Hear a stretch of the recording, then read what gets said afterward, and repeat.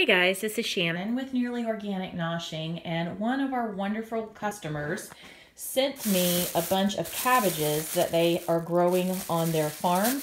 Um, these were too small for them to sell um, like to the farms or to the farmers market, and they had a bunch of these smaller cabbages, which are perfectly fine for us. Um, St. Patrick's Day is coming up this weekend, so I'm sure I will take some of this to do uh, corned beef and cabbage. But tonight I am going to make some coleslaw with it. And I already have um, some pork steaks uh, defrosted in the fridge, and I think I'm going to put them on the grill. I'm not sure. It's getting a little cold outside. Not really cold. I'm just, you know, I'm being a wuss and don't want to go stand out in the cold. So I uh, I may do that. It, it just depends. I also don't want to have to babysit the grill, and I have to babysit the grill. So we'll just see how much time I have because it's also pie day. So I thought I would surprise the family with some homemade apple pie. I went ahead and pulled out one jar. I may pull a second jar out of some of my homemade apple pie filling, which is dusty on top. And I have to make some pie crust. And I'm going to pull out some of my homemade canned maple beans to serve with this. So I really should have made this coleslaw yesterday um, for it to set up. You know, the longer it sits in the fridge for a day or so, um, it just tastes better. And excuse my mess of a kitchen. We have been go, go, go. And normally this thing over here is full of fruits and vegetables, and it has been my catch-all. Um, so that my counters are somewhat clean. If it does not belong, it's just gone in this basket until I can get a chance to clear it. And there was my son's to-do list and I think like one thing has gotten done on it so far because his truck has been broken and he's been working on his truck and chores have not been getting done around here. So I've got to just kick it into gear tonight after dinner and get some stuff knocked out. So, but first I'm going to go ahead and make some coleslaw and I probably don't need too, too much. I'm going to use at least one head. I'm going to, I might use one of the bigger heads. Let me see here. I probably will just go ahead and use this one and save some of these um, smaller ones because I think I have like five, one, let's see, one, two, three, four, five, six. So seven. I have seven small heads of cabbage. I think I may have to share some of these with uh, my mother because there's no way we're going to go through this much cabbage before it goes bad. And we don't love sauerkraut. I am not a huge fan. My mom likes it and Chris likes it a little bit, but I made sauerkraut two years ago and we're just now getting down to like the last four cans, for four jars of it. I'm not making sauerkraut anymore. So unless someone specifically requests it.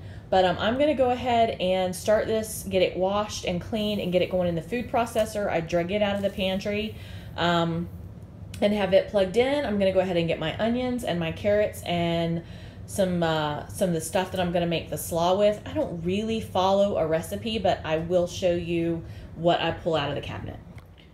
Okay guys, um, this is that one head of cabbage and I did four carrots um, and just a little bit of onion. I do not like raw onion and since I'm going to be eating this, I'm going to do it the way I like it also.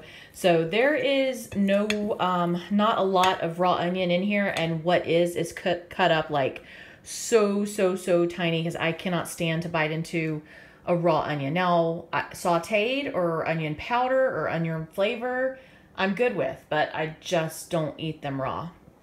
So that is what this is. And there are some bigger pieces in here. That's just the way the food processor was doing. Um, and I'm not going to go and pick them all out. Um, and then what I'm going to add to that is I have some spicy brown mustard, some raw sugar, some real mayo, some um, raw unfiltered apple cider vinegar. I have some celery seed and I have salt and pepper. So I'm just going to dump that into here. Um, I don't measure. I'll probably put like half a cup of mayo and half a cup of yogurt, and then everything else will just be to taste.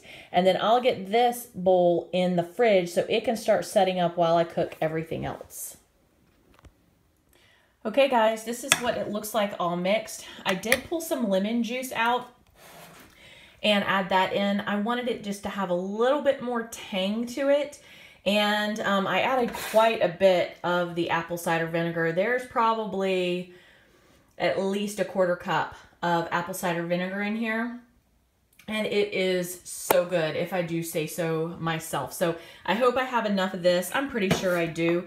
And I'm just to go ahead and dump it in here and get it all mixed up. Okay guys, this is what it looks like all mixed up. I added just a touch more salt and a little bit more pepper once I had it all mixed together. It just needed just a tiny little bit more. So it is almost 8 o'clock. It is like 6 minutes to 8. I got in late from work, so I am just to have to hustle to knock the rest of this out and maybe we'll be eating dinner by 8.30. So this daylight savings time thing is kicking my butt. Um, you practically need a cattle prod to get me out of bed in the morning. I am like sleeping through my alarm clocks.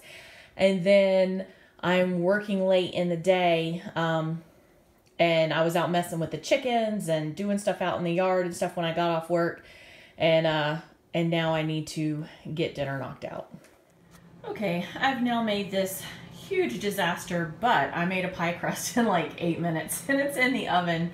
Um, I have a little bit left over. I'm going to roll this out, cut it into strips, um, and put it on top of the apple pie, but I'm like par cooking the crust so that the crust is going to be crispier. So it's in the uh, oven right now. I'm going to clean up this mess, and I just did a quickie Crisco crust. Um, it was like one cup of flour. I think I used a little over a cup of flour, a half a cup of Crisco, a teaspoon of salt, and a quarter cup of water and then just quickly rolled it out. It is super ugly, um, but it is in the pan, in the oven, and once I dump the pie filling on top of it, you won't know what it looks like. So I'm gonna clean this up and move on. Okay guys, these are those pork steaks that I defrosted. I'm seasoning them with salt, pepper, and paprika. And then of course I decided to do the one vegetable that takes longer than anything else because I had to um, um, take the ends off and get these ready. So I used up the last of that onion from the coleslaw and I'll add some garlic in here later and there's a little bit of um, bacon grease in here but there's water because I steam kind of the vegetables first and then I let all of the moisture evaporate. By then, the green beans are softened a little bit and the grease is left behind from the bacon and it just kind of coats everything and then crisps up. And this is just a fast way of doing the baked beans. I have a little bit more bacon grease um, melting over here in this pan. And I'm getting ready to put the pork steaks on. I'm going to quickly cook them on each side and then I'm going to cover them in some uh, that, what was it, apple bourbon, apple bourbon, oh Lord, it's just going out of my head, salsa, apple bourbon salsa. Um, and then I'm to pop it in the toaster oven on broil and let it go ahead and cook through.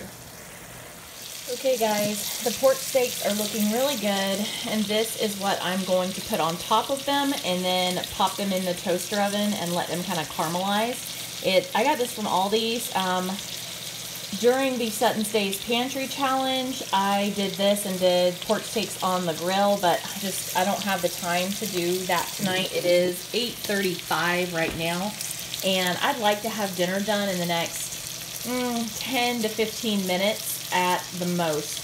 So we'll have dessert later. I know the apple pie is going to take a little bit to make, but I'm about ready to take the crust out and I can pop this in while I'm finishing up the apple pie and then by the time this is done I'll be able to turn the oven down and put the apple pie back in and everything else will be done.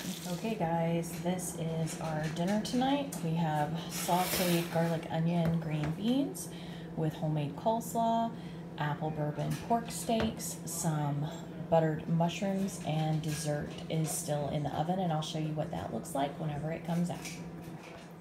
Okay guys, here is dessert. Started dishing it up already. A homemade apple pie with Cool Whip on top and a cup of coffee.